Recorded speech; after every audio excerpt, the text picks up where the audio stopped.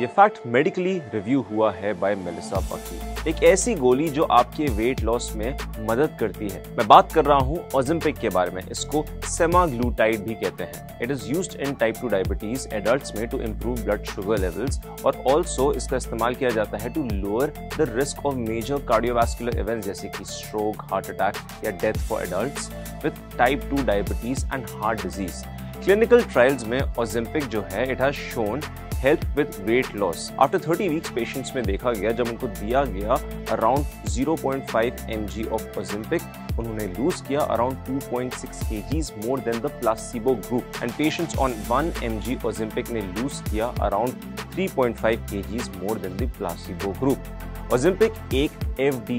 approved weight loss medicine नहीं है. FDA यानी कि food and drug administration approve अब ओजिम्पिक वर्क करता है to lower the blood sugar help करता है the pancreas to make more insulin decrease करता है the amount of sugar your liver makes and slow करता है the rate the food passes through your body जिससे आपका जो स्टमक है, वो फुल फील करता है for a long period of time